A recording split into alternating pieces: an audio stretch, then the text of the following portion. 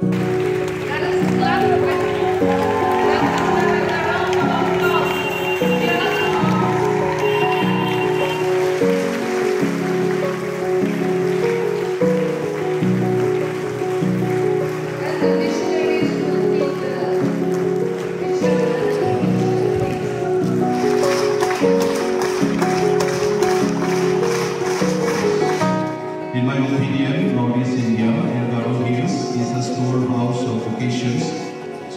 therefore let us pray for families because from the families come beautiful vocations.